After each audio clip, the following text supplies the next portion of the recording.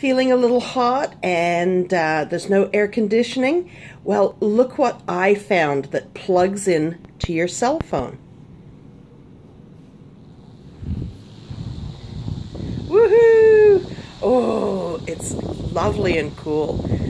This is amazing. It's uh, it's a little thing that you stick in the end of the phone there, and then it's like.